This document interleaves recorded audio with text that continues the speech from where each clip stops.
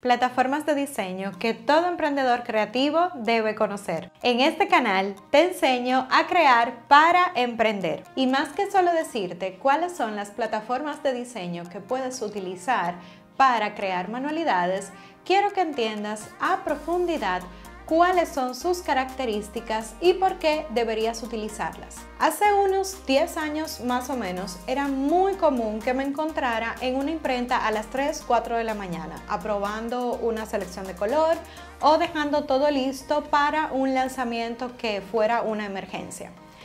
Tú pensarías que qué pesado este tipo de trabajo, pero la verdad lo amaba en su momento, porque ya no estoy para eso, pero en su momento lo amé muchísimo y a raíz de todo esto entendí cuáles son las plataformas más eh, utilizadas, pero también las más adecuadas para poder diseñar, para poder hacer unos trabajos de calidad dependiendo el tipo de trabajo que fuera a realizar. A raíz de mi experiencia, quiero simplificarte lo que ya he entendido para que puedas asimilarlo y utilizarlo a tu favor. Así que lo primero es que debes reconocer las diferencias entre JPG, PNG y SVG, pues estos son los tres formatos más famosos para exportar tus archivos y que luego puedas crear.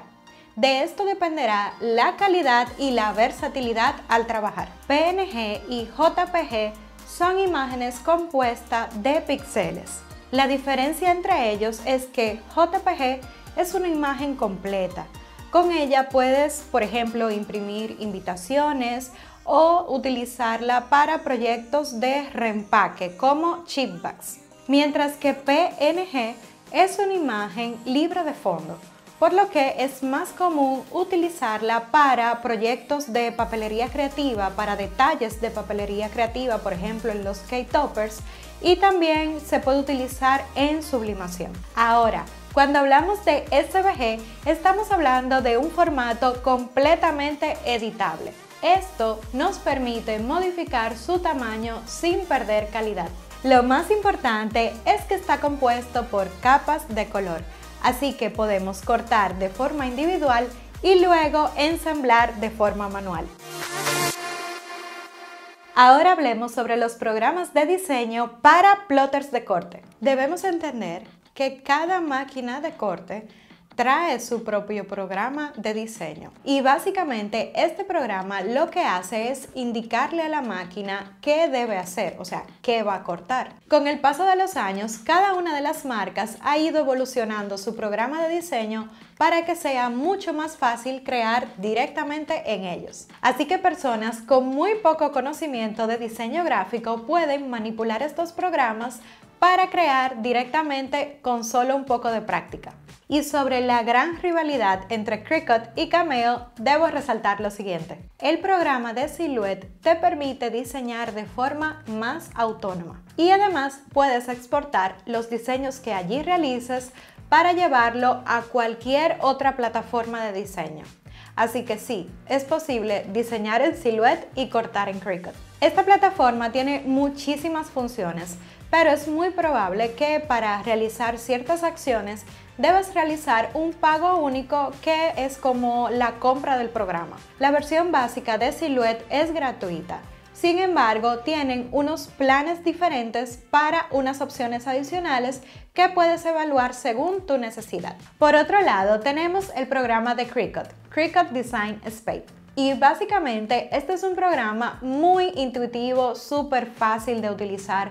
La plataforma móvil de este programa también es excelente. Incluso si tú no tienes computadora, te recomiendo que evalúes comprarte la Cricut debido a que su plataforma de diseño en el celular es muy práctica para utilizar. Sin embargo, debo aclarar que esta plataforma sí es totalmente gratuita, pero tienen una membresía la cual te permite acceso a una biblioteca de imágenes que está bastante buena y al pagar esta membresía te acoges a la política Ángel que básicamente te permite utilizar sus imágenes para comercializar artículos. Así que sí, puedes vender los diseños que ellos ofrecen. Ojo, hay unas cuantas cositas en letras pequeñas que debes de verificar y si quieres saber un poco más del tema te dejo un video en la cajita de información para que puedas consultar. Sin embargo, además de los programas de las máquinas de corte, es posible crear con plataformas que aun si no tienes máquina puedes comenzar a diseñar hoy mismo. Y teniendo en consideración lo que ya te expliqué, ahora te digo cuáles son las plataformas de diseño que puedes utilizar. Para entrar en el mundo de los píxeles, vamos a hablar sobre dos programas. El primero es Canva. Y sí, Canva es una página web, pero la verdad es que es una excelente plataforma para diseñar si aún ni siquiera tienes ni idea por dónde empezar.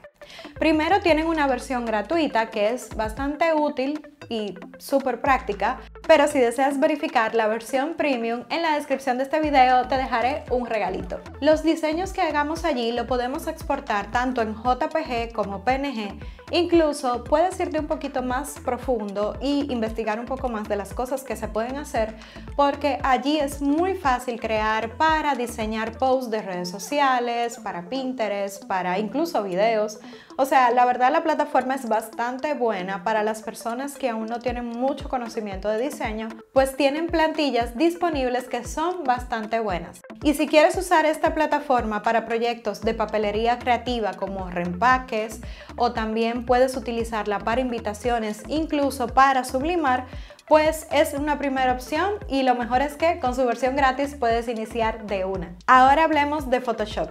Esta es una plataforma profesional y de pago y debo resaltar una de las favoritas de todos los fotógrafos. En esta plataforma podemos crear un montón de diseños impactantes. Tienen una amplia variedad de efectos que se pueden realizar allí y también es muy importante resaltar que esta plataforma es bastante útil para realizar lo que llamamos la separación de color y también preparar imágenes para sublimación. Ahora es tiempo de los programas que crean SVG y básicamente estos SVG están compuestos por algo que en diseño llamamos puntos.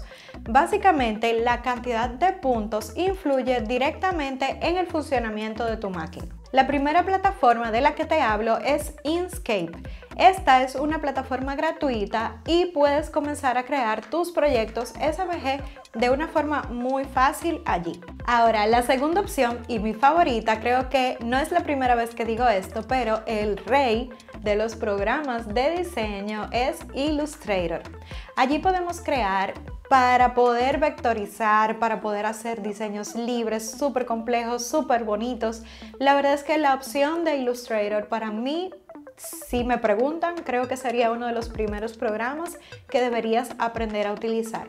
Y también quiero resaltar que los proyectos que creas en SVG es muy fácil poder convertirlos en PNG y JPG si fuera necesario. Sin embargo, al igual que Photoshop, Illustrator es un programa profesional por lo que sí tiene un costo que deberías considerar. Ahora, tengo para decirte que si te interesa aprender a utilizar el programa Illustrator y tienes cero conocimiento de diseño, pero te encanta este mundo de la papelería creativa y quisieras hacerlo de una forma más profesional, te recomiendo que tomes mi curso. Al llegar hasta aquí te voy a regalar el 50% de descuento.